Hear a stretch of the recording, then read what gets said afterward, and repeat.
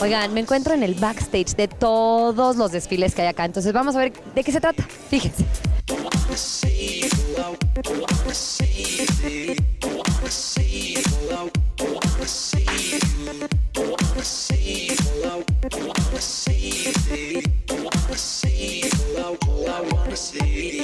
Turn up the smoke machine. I wanna see you.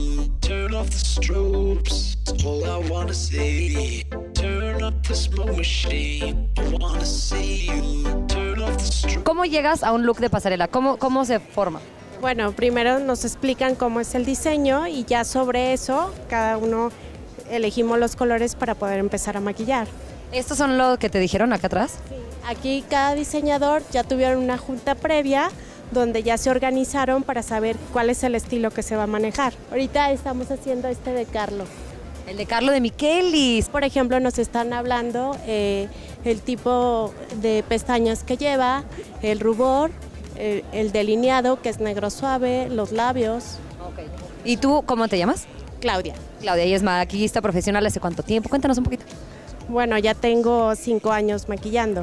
Ok. ¿Y que me puedes dar dos tips para cambiarme un look de día hasta cuenta que estoy en el trabajo y me quiero ir de fiesta? ¿Qué podría ser? Bueno, yo creo que lo que te da la diferencia es el color. Siempre y cuando tengamos una buena base, el corrector perfectamente, podemos hacer un cambio si ponemos un delineador mucho más marcado. Por ejemplo, de día va un café, de noche lo podemos poner con un delineador en negro o unos labios rojos para la noche, ¿no? Rositas de días y rojo de noche. Exacto, vamos intensificando el color por la luz que tenemos.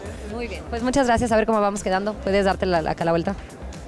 Ahí vas. Muy natural. Eso es muy natural. Sí, es muy natural. Perfecto. Muy bien. Muchas gracias. Seguimos, seguimos, seguimos. A ver qué, a ver qué encuentro. Modelos, guapas, guapos, altos, muy altos, casi como yo. Es- esto es lo que pasa detrás de los escenarios de un desfile. Seguimos en Picnic.